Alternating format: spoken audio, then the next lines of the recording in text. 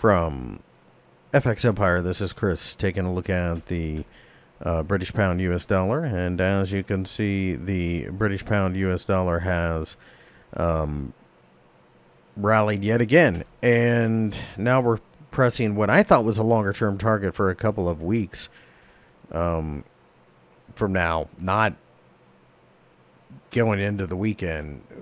We are extended.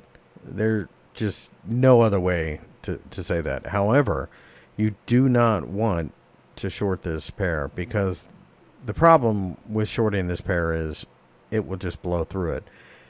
Furthermore, you don't want to buy it here. That would be reckless. It's a great way to lose money. You'll find yourself 300 pips down and, and waiting for the, the push higher. So, to make your life easier, you just wait for value. Like anything else, you want to buy it on sale if you can. Um, that being the case, I fully anticipate a pullback, but I just look at that as an opportunity to buy it lower. A, a daily candlestick like a hammer or something like that, I'll be all over.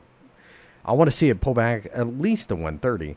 Um, you know, even better, lower. But we'll see. Now, if we blow through here, that just means the pullback's going to be even more aggressive.